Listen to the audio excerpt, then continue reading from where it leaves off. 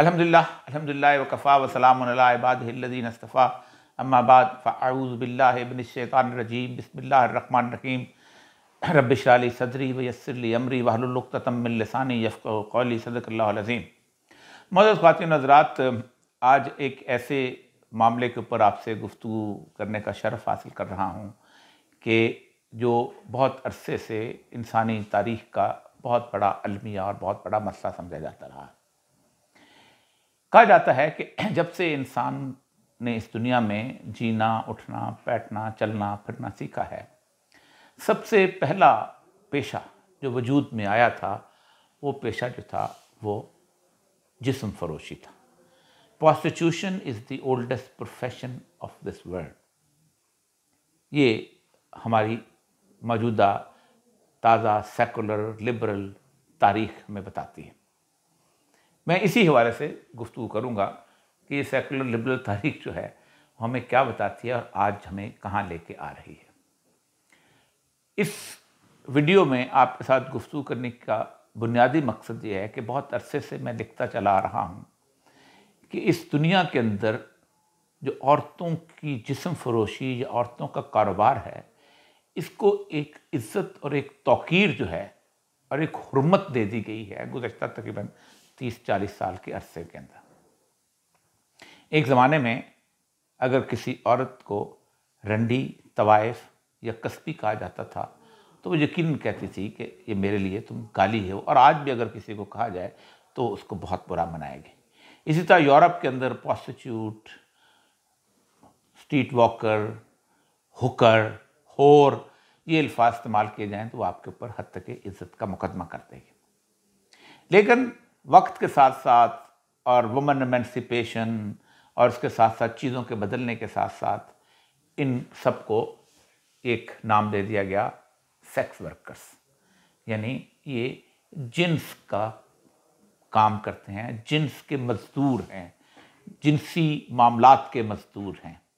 और फिर उसके साथ एक पूरी की पूरी साइंस डेवलप की गई कि एक जिनसी मजदूर के मामलात के अंदर उसके मसाइल कौन से होते हैं। हैजर्ड्स ऑफ़ द प्रोफेशन जैसे कहा जाता है ना कि एक रुई के उसके अंदर, मिल के अंदर काम करने वाला जो है, वो तिब्दक का मरीज़ हो जाता है ट्यूबोक्लोसिस का मरीज़ हो जाता है, क्योंकि रुई उसके अंदर दाखिल होती रहती है। या इसी तरह कोयले के कान में काम करने वालों की अपनी, अपने अमराज होते हैं। इस तरह एक पूरी पूरी मेडिकल और सोशल साइंस बिल्ड की गई कि जो सेक्स वर्कर्स होते हैं, इनकी, के कौन से हैज़र्ड्स होते हैं और उनका कैसे इलाज किया जाए। ये नहीं कि इस प्रोफेशन को ख़त्म किया जाए, इस प्रोफेशन के कर्ब किया जाए माशरे के अंदर, ना।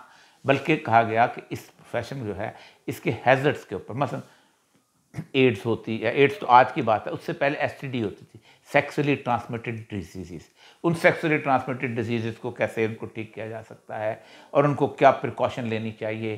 फिर उसके साथ कहा गया कि इन औरतों को है इनकी सोशल लाइफ जो है वो ठीक नहीं होती, इनको एक contributory member of the society कैसे बनाया जा सकता है? इनको ख़ास तौर पे माशरे के अंदर एक बेहतर और अच्छा मकाम कैसे दिया जा सकता है? इसी तरह इस पूरे माशरे के बुनियाद के ऊपर एस्कॉट सर्विसेज़ जो हैं, वो उसका ईजाद उसका ईजाद हुआ।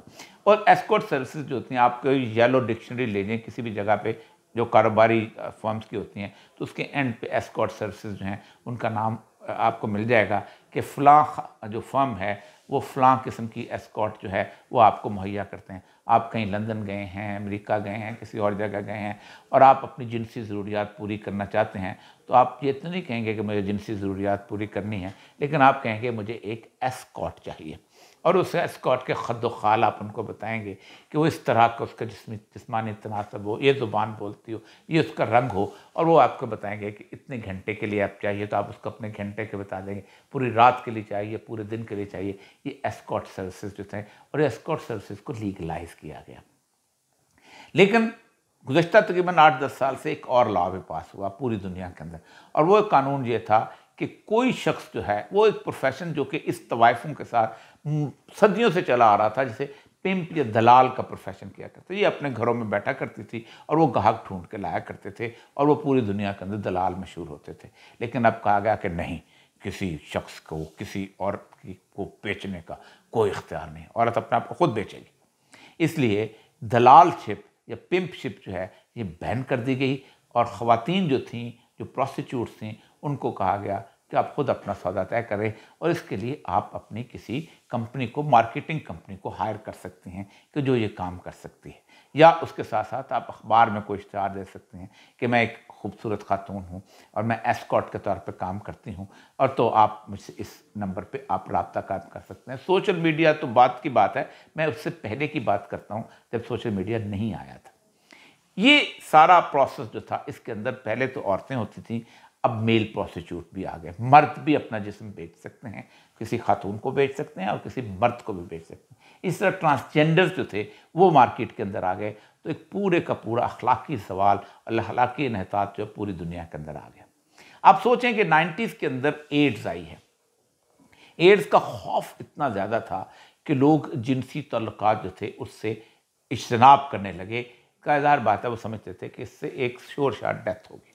रॉक हडसन जो था, उसके बारे में जब खबरें छपी कि वो एक हम जिन्स परस्त आदमी था और उसने बकायदा कहा कि मेरी बुनियादी वजह ये है तो गोल्डन गेट ब्रिज जो है कैलिफ़ोर्निया के अंदर वो जो सैन फ्रांसिस्को में है, वहाँ इन बहुत बड़े गेज रहते थे। उन्होंने बकाया कहा कि नहीं, हमने इसको फाइट बैक करना है कि हमारे पर हमला है। ये बिल्कुल वैसा ही हमला है, जैसा 1906 में जब सैन फ्रांसिस्को में जलजिला आया था, क्योंकि वहाँ एक गे बार खुला था तो लोगों ने कहा था, ये उन पर अल्लाह का अजाब नाजल हुआ है। तो हमने उसका मुकाबला किया था और हमने और आगे गे बार और बढ़ा दिए थे। तो उन्होंने कहा, इसका मुकाबला करना है। एड्स का बुनियादी दर्स ये था कि स्टिक टू योर पार्टनर अपने जौजा या अपने पार्टनर या अपने साथी के साथ आप सिर्फ़ उसी के साथ अपनी जिनसी ज़रूरियात पूरी करें। अगर आप इधर उधर करेंगे तो आप किसी ना किसी तौर पे एड्स का शिकार होंगे और फिर मौत है वो मुँह खोले आपकी तरफ़ बढ़ रही है। अब इस पे कौन जाए? ये तो ये तो वो अखलाकियात है जो मज़हब बताता है। ये तो अखलाकियात है जो इस्लाम बताता है। और तमाम मज़हब बताते हैं कि आप अपनी बीवी के साथ लॉयल हो जाएँ, या अपने पार्टनर के साथ, चलो पार्टनर कह लेते हैं, लॉयल हो जाए। कहा गया, नहीं, सेफ़ सेक्स सेफ़ सेक्स की जाए आप कॉन्डोम इस्तेमाल करें, फलां करें। पूरी दुनिया की जितनी भी तवायफ़ें थीं, उनको बाकायदा एड्स फ्री का ब्लू कार्ड इशू किया गया। और साथ उनको बाकायदा तरबियत दी गई कि तुमने इस तरह बचना है, इस तरह बचना है। लेकिन आज मैं आपके सामने इस हवाले से एक और सूरत हाल पेश करता हूँ, क्योंकि तकरीबन दो तीन दिन पहले एक बहुत बड़ा इजलास हुआ है वर्ल्ड इकनॉमिक फोरम का डिवोर्स में। ये वो लोग हैं कि जो तकरीबन एक हज़ार कंपनीज़ के मालिक बड़े बड़े लोग मतलब कॉरपोरेशन के, जो दुनिया पूरी के अंदर फैली हुई हैं, ये वो लोग हैं जो पूरी दुनिया का सियासी, माशी और अखलाकी निज़ाम जो है उसको कंट्रोल करते हैं। ये पैसे इकट्ठे करते हैं कि एक कॉकस बनाते हैं और अगर ट्रंप को देते हैं छः सात बिलियन डॉलर तो इलेक्शन लड़ता है।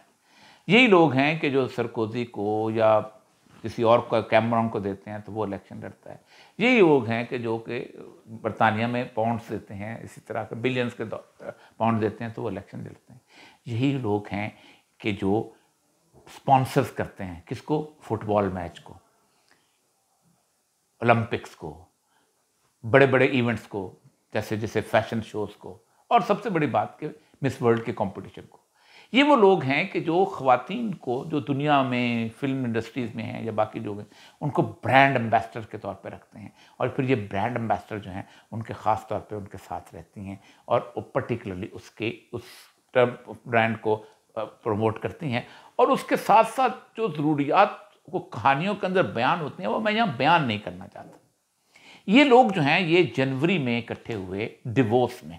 डिवोर्स एक शहर है, जो कि स्विट्ज़रलैंड के अंदर यहाँ सख्त सर्दी होती है बर्फानी और इसके अंदर 50 मुल्कों के तकरीबन हेड ऑफ़ द स्टेट्स भी जमा हुए। ये वहाँ बैठ के उन्होंने आके तीन चार दिन के लिए, ये तकरीबन उन्नीस सौ इकहत्तर में ये ऑर्गेनाइजेशन बनी थी, उन्नीस सौ अस्सी के बाद से ये हर साल वहाँ जमा होते हैं। और उन्होंने बैठ के वहाँ यूक्रेन की जंग पर गुफ्तु की, आपस में गुर्बत और इमारत के मैं फ़र्क पर गुफ्तु की। मौसमियाती तब्दीली पर गुफ्तु की और उसके बाद इन्फ्लेशन पर गुफ्तु की, माशी सूरत हाल पर गुफ्तु की।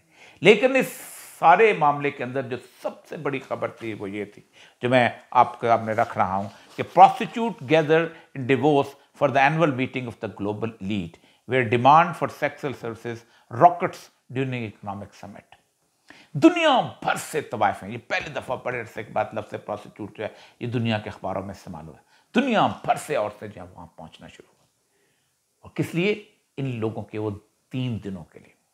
जो इसमें एक खातून लियाना का इंटरव्यू नचल गया उसने कहा कि मैं यहाँ डिवोर्स की रहने वाली हूँ, और वो एक अमेरिकन वो है, जो बहुत बड़ा कंपनी का मालिक जो है, वो मेरे पास अक्सर आता रहता है, और मैं तकरीबन 700 यूरो एक घंटे का लेती हूँ, और मैं तकरीबन 2300 यूरो पूरी रात का लेती हूँ। एक टैक्सी ड्राइवर का इंटरव्यू इसमें आया है उस टैक्सी ड्राइवर ने कहा कि मैंने खातून को उठाया कि जो यूरोप किसी मुल्क से आ रही थी। तो मैंने कहा कि तुम क्यों आ रही हो? उसने कहा, मुझे एक बॉस है मेरा, जो कि एक कंपनी का मालिक है। उसने मुझे कहा कि तुम जाओ और फलां एक बुढ़े के साथ रात गुजारो, क्योंकि उसकी वजह से मेरी कंपनी को फलां फलां कॉन्ट्रैक्ट मिलेंगे और मैं वो रात गुजारने के लिए आ रही हूँ। ये है वो सूरत हाल इससे पहले मैंने बताया था कि जर्मनी के वर्ल्ड कप हुआ था, फुटबॉल का उसके अंदर पैंतालीस हज़ार औरतें जो थीं, वो जर्मनी के फुटबॉल के इस मैदान के लिए उनके खेमे लगे थे। यहाँ मुख्तलिफ़ किस्म की होटल्स हैं।